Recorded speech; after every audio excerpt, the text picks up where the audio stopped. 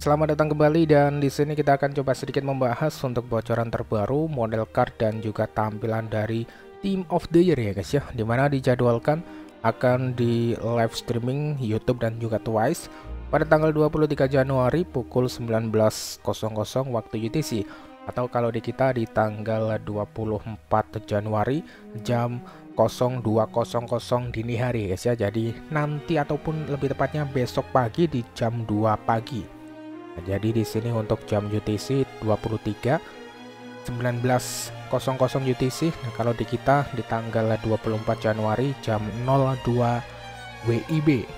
Nah, waktu Indonesia Barat.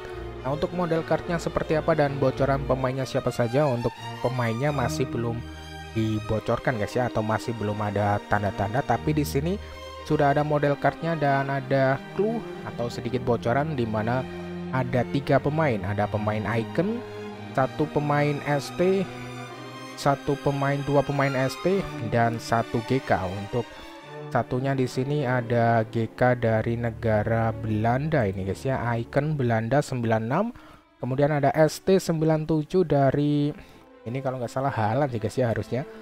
Dari mana Halan Norwegia kalau nggak salah. Kemudian ada dari Brazil ST97 Icon. Nah, jadi di sini banyak yang prediksi untuk GK-nya diisi oleh PDS atau Van der Sar. Kemudian ST97 di sini ada Halan dan ST97 dari Brasil di sini ada Ronaldo. Untuk model cardnya juga keren ya guys ya, mantap ini model cardnya.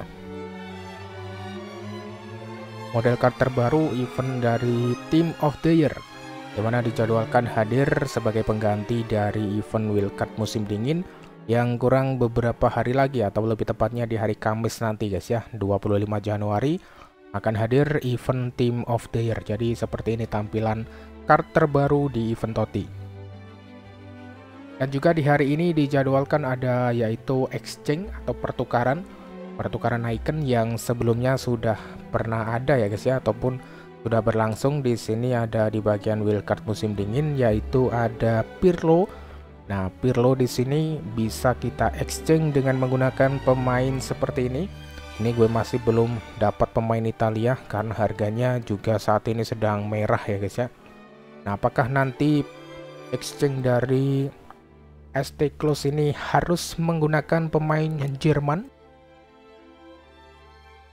seperti halnya contoh untuk Pirlo ini guys ya, ini pemain dari Italia jadi membutuhkan pemain Itali di OVR 85 sebanyak 11 biji. Nah, kalau kita pergi ke pasar pemain Itali saat ini sedang naik juga. Nah, seperti ini Maldini kita coba lihat.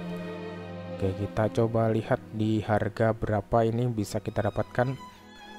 Oke, kita cari harga terendah. Untuk saat ini harga terendah di pemain OVR 85 ya rata-rata di satu jutaan sih guys ya. Atau mungkin bisa kita tahan terlebih dahulu. Ya kurang beberapa hari lagi event Toti nah jadi kita coba kita coba lihat untuk pemain Jerman di sini. Untuk pemain Jerman kita lihat ya guys ya negara. Kita coba pilih negara Jerman. Apakah Jerman juga sudah mulai memerah? Mungkin ada yang sudah pada tahu karena ini postingan kurang lebih sekitar beberapa hari yang lalu guys ya di tanggal 20 Januari. Nah, harusnya sih sudah banyak yang sudah persiapkan tapi ya seperti biasa jangan terlalu gegabah. Siapa tahu nanti kegocek ya guys ya. Kita cari negara Jerman. Jerman Jerman di mana ya Jerman?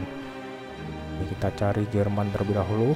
Nah di sini ST Close 92 pertukaran ya kurang lebih harusnya sih sama sih. Seperti Pirlo yang membutuhkan pemain 85 pemain dari Jerman sebanyak ya mungkin mungkin ada 11 atau berapa gitu guys ya. Oke, kita nilai OVR kita kasih 85 85 di sini. Ada berapakah? Apakah sudah full merah untuk pemain 85 kita coba 85 86 pemain Jerman. Nah seperti ini. Oke masih banyak yang biru ternyata guys ya. Oke masih banyak yang biru. Tapi sekali lagi gue ingatkan bahwa di sini belum belum pasti apakah butuh pemain Jerman juga. Ya kita tunggu saja karena ini eventnya juga lama guys ya. Event TOTY keluar pertukaran juga masih ada jadi ya kita bisa nabung terlebih dahulu sih. Untuk pemain Jerman di sini masih banyak yang biru di harga 652.000 masih ada kudokan dan juga masih banyak yang lainnya guys ya kita lihat di jam 8 ini hadir pertukaran ST Close yang mana sebelumnya sudah hadir CM Pirlo 9292 Nah, jadi seperti ini. Siapakah menurut kalian dari ketiga pemain ini? Ini sudah ada clue-nya dari Belanda Icon GK96 dari Norwegia 97 ST dan 97 ST dari Brazil Icon. Terusnya sih ini Van der Sar, Haaland dan juga Ronaldo R9 ya guys ya. Ya siapakah yang akan dihadirkan nantinya? Kita lihat esok hari di jam 2 dini hari untuk live streaming di Facebook, di YouTube dan juga di Twice ya guys ya Facebook. Ya mungkin itu saja. Terima kasih sudah menonton dan kita nantikan updatean terbaru Team of the Year 24. Sudah berapa koin permata yang kalian miliki hingga saat ini? Lumayan sih ini bisa buat gacha-gacha ya guys ya.